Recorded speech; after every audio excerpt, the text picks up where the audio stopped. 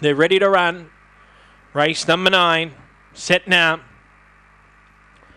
And they're away and racing. Honey Road off the inside was away well. Hori's Prince has got speed and now pushing through Atlantic Jewel. It's second at the first turn. Pushing up on the rails, it's gone to the lead. Mammoth in third from Little Sidey. Then came Honey Road, who got checked from Ultimate Sugar, Western Bomber, and Cougar Icon. But Atlantic Jewel, the favourite, strode right away. And Atlantic Jewel lives up to the name and wins by a space. Hori's Prince second, Mammoth third, fourth side the Little Sidey or Honey Road from Ultimate Sugar, Cougar Icon, and Western Bomber, 22.67 the time.